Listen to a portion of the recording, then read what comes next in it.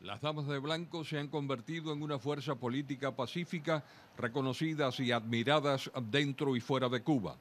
De luchar por la libertad de sus familiares en prisión, recuerda la representante del movimiento en el exterior, pasaron a abogar por la libertad de todos los presos políticos e inevitablemente de todo el pueblo cubano de que está luchando por cambios políticos, de hecho siempre lo ha hecho, porque las damas de blanco uno dice, no, era un movimiento humanitario pidiendo la libertad de los presos políticos, pero realmente eh, las damas de blanco se han enfrentado como nadie al gobierno cubano y han mantenido su derecho a marchar y, y, su derecho a marchar donde quiera, no solamente en La Habana, en la Santa Rita, no, en Santiago, en Las Villas, donde quiera, en Matanzas. Y de hecho son un movimiento político. En comunicación telefónica con Radio Martí, Laura Pollán resumió las aspiraciones de las damas de blanco. Como deseamos un mundo mejor para nuestros hijos, para nuestros nietos, queremos que este sistema termine y nos hemos lanzado a las calles a luchar por la prosperidad de nuestro país. Este domingo, hablando sobre el futuro del movimiento, Laura Pollán dijo que las damas de blanco no solo seguirán marchando en La Habana, sino en todo el territorio nacional.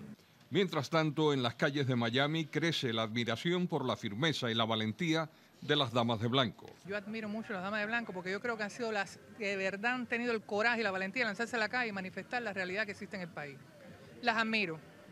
Más porque son mujeres, por encima de todo porque son mujeres y han tenido los pantalones bien puestos para salir y decir, esto es lo que hay y protestar en contra de lo que ellos o sea, defendiendo sus propios intereses. Exiliados cubanos que sufrieron la represión del régimen castrista temen por la seguridad de las damas de blanco.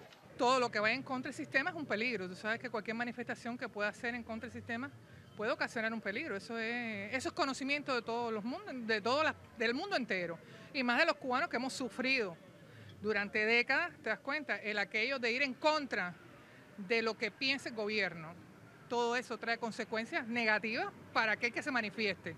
Yo tuve la experiencia personalmente por mi padre, que fue un preso político de 22 años. Ellos están haciendo una gran labor, un gran trabajo, lo hicieron por los presos políticos, pero en sí ellos siguen su lucha porque buscando las libertades civiles de Cuba y que haya más democracia.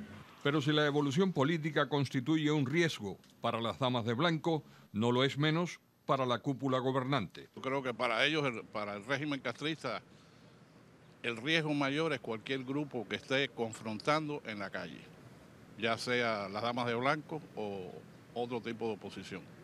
Pero yo creo que ese es un peligro para ellos porque en la calle es más difícil mantener el control, es más visible, sobre todo en La Habana, donde están la mayoría de los reporteros extranjeros. O sea, una manifestación en, en Holguín, en Palma no tiene el impacto que tiene en La Habana. Jorge Río Pedre, Televisión Martí.